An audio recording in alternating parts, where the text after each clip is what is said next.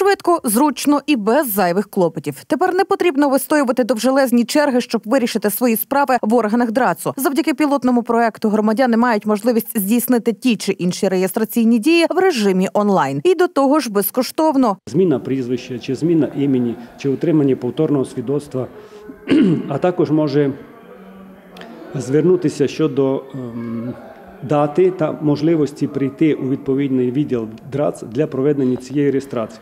Найцікавіше із таких проєктів, за словами Івана Алмашия, укладання шлюбу всього за добу. І в Ужгороді вже є пара, яка скористалася цією можливістю. Необхідно звернутися або до Ужгородського міського відділу ДРАЦ, або до головного територіального управління юстиції, тому що пілотний проект прою- працює тільки по місту Ужгороду, але е, необхідно виходити з того, що в майбутньому можливо ми розширимо цей пілотний проект на всю область. Є хороша новина і для молодих спеціалістів, які бажають працювати на державній посаді. Наразі, згідно із законом, вимог щодо стажу роботи не існує. Є тільки конкурсний відбір, який заявник у разі незгоди із рішенням зможе оскаржити. Це відбувається в два етапи. Конкурси всі відкриті, тобто йде тестування, і потім наступний етап це співбесіди. У будь-який момент, е, з яким особа не згідна, вона має право оскаржити це керівництву того чи іншого органу, до якого вона подає заяву на вступ, або через суд.